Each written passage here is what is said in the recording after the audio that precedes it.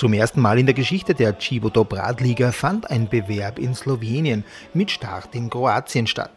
Mit der dritten Auflage des UIC 1.2 Rennens Zagreb-Leibach feiert die größte österreichische Radliga auch eine Premiere in der Europatour. Erstens einmal sind wir wie heuer schon die ganze Saison mit ein paar Absagen konfrontiert gewesen aus organisatorischen Gründen.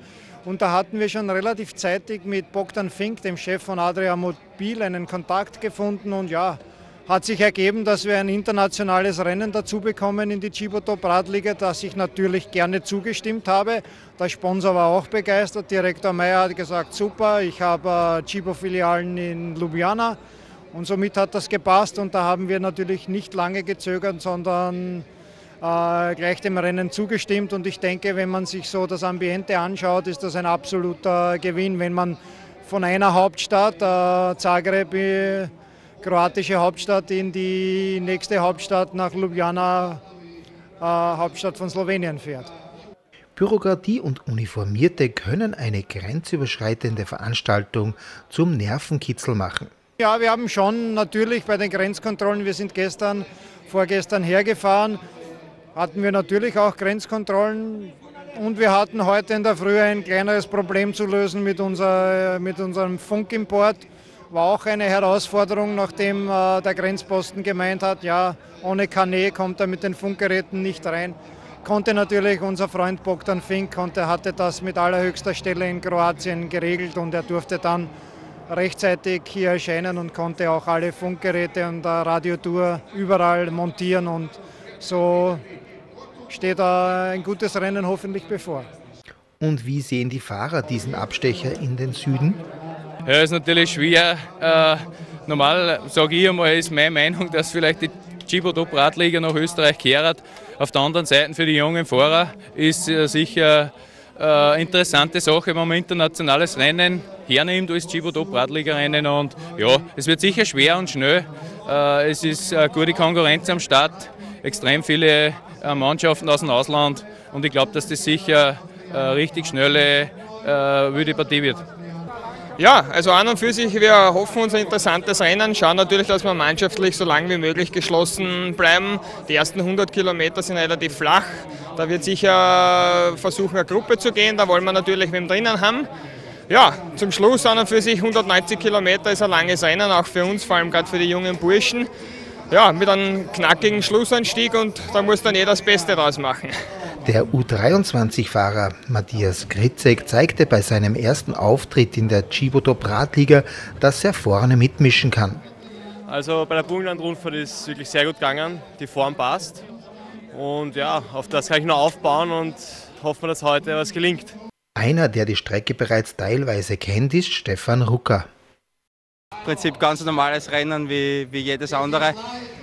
Für uns Steirer im Endeffekt nähere Anreise, wie wenn es in Vorarlberg gewesen wäre. Also von dem her eigentlich nichts anderes. Äh, ich habe ein bisschen den Vorteil, ich kenne die Strecken. Voriges Jahr Slowenien-Rundfahrt war das letzte Drittel von der Strecken war ziemlich gleich.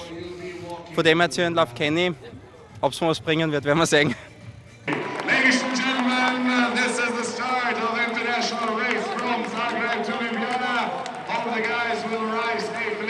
Die 187,5 Kilometer lange Strecke führte quer durch Zagreb Richtung Slowenien.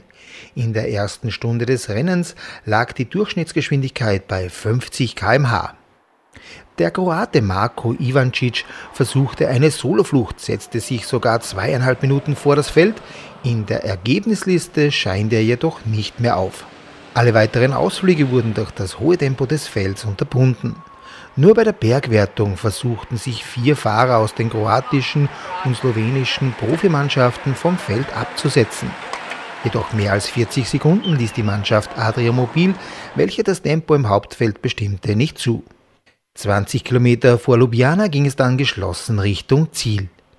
Die slowenische Polizistin, welche hinter dem Schlusswagen fuhr, hatte leider zu Rennbeginn beschlossen, dass das Rennen nicht gefilmt werden darf und blockierte das begleitende Kamerateam. So konnten wir nur mehr die Rennstrecke weitläufig umfahren und auf die Zieleinfahrt auf der Burg in Leibach warten. Stefan Rucker von Rapsog Nittelfeld schildert das Rennen aus seiner Sicht. Ja, also zuerst einmal wahnsinnig schnelles Rennen. Vom Start weg. Also äh, Adremobil und Perotino haben nie Gruppen weglassen, eigentlich ständig attackiert worden. Äh, das Rennen eigentlich wirklich schöner Kurs.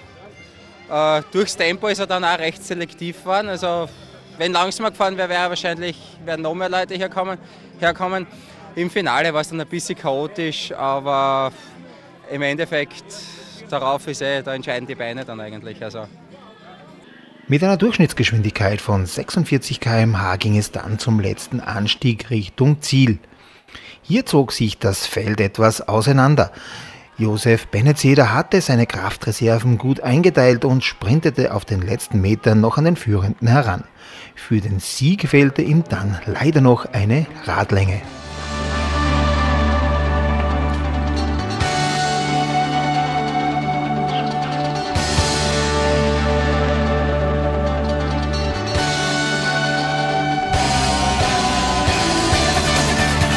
Komisch, weil so keiner so richtig gewusst, wie das Rennen halt ist.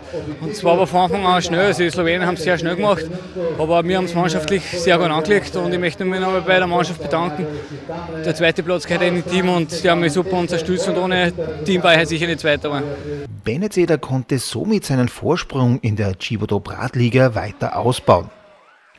Auch für Georg Breidler lief es wieder sehr gut. Er konnte seine Führung in der U23 mit dem 13. Platz und 12 Sekunden Rückstand auf den ersten verteidigen. Sehr schnell, sehr schnell. Aber es war wieder sehr heiß, sehr schnelles Rennen. Die Slowenen sind eigentlich alles von vorne gefahren. Dadurch haben wir eigentlich Kräfte sparen können und zum Schluss ist relativ gut gegangen.